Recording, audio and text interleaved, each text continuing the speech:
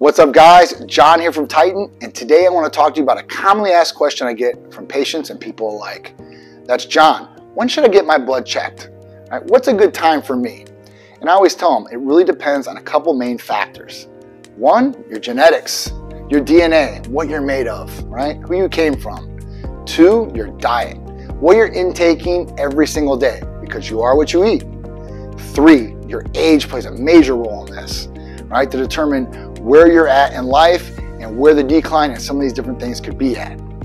Four, medications you may be taking, like antidepressants. We know this can lower testosterone and do a number of other different health issues to you.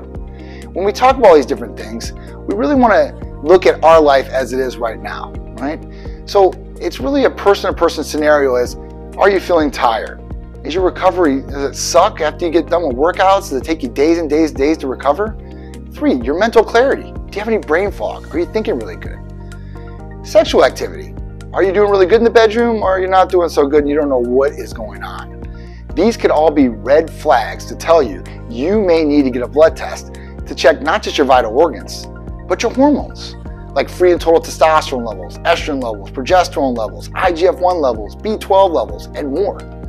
So when you're asking this question of when I should get my blood test checked, you should be telling yourself, well, am I feeling any of these different things? And if I am feeling these things, then it's time for me to get my blood test taken so I can see where all these levels are at.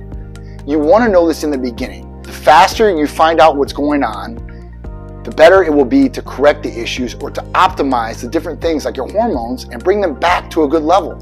So you improve your quality of life day in and day out. And that's what it's all about. Feeling good almost every single day. We're not perfect, so we might not feel good every single day. But the majority of your days, you want to have a great day, right? And that will improve a lot of different things around you, from your personal relationships, your work, right? Your own life in general.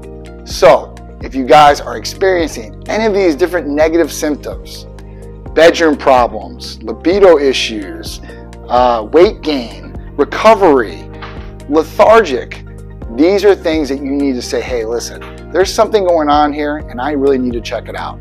That's when you can call us here at Titan Medical Center or text us 727-389-3220. We can set you up with a blood test anywhere in the country, both males and females.